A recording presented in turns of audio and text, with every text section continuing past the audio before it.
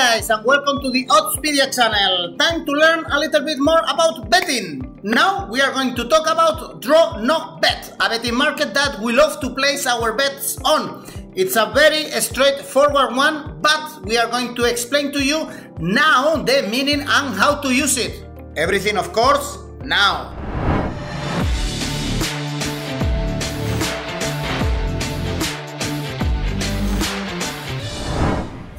We need to learn what draw no bet is, although by the name I have a feeling that you already know about it.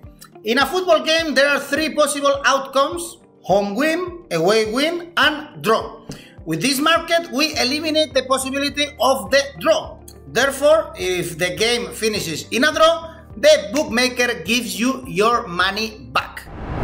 Let's check an example now on our website to make things even easier.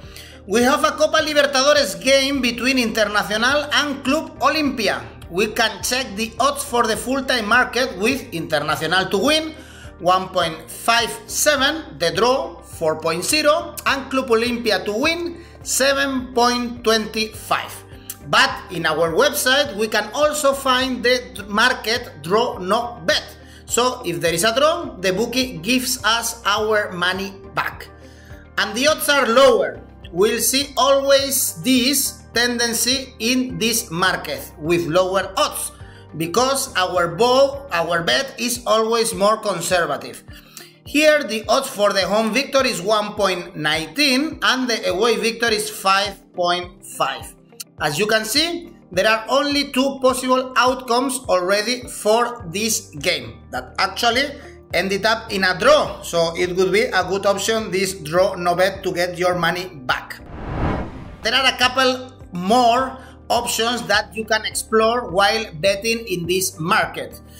We saw that you can bet in the draw no bet market in the full time, but you can also bet in the first half or in the second half.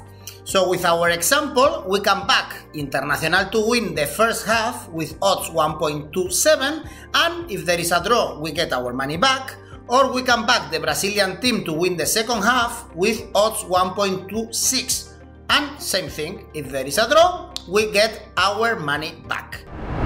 Now, I want to clarify a couple of concepts that might lead to some confusion.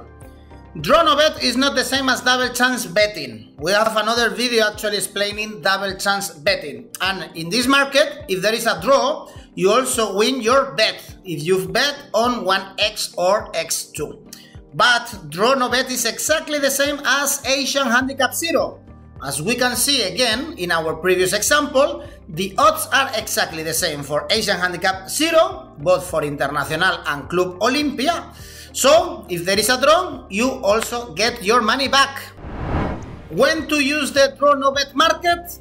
People following our channel already know that our tipsters tip very often Asian Handicap Zero. So also basically a draw no bet. This is especially helpful when you decide to back the underdog in a football game. Because backing the favorites with draw no bet gives us odds very, very low. So it's wise going on the other side for the underdog. Imagine that you see that Internacional is struggling and Olimpia have a chance to get points away, but backing them is too risky, backing them to win. So you can also go for this draw no bet for Olimpia or for the underdog in general. This can give us very good returns. It's also very helpful when you have a very, very balanced game, when the draw is the most likely result.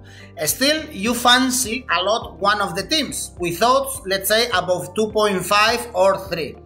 Here is also a very good option to go for draw no bet, when the odds are around 2.0.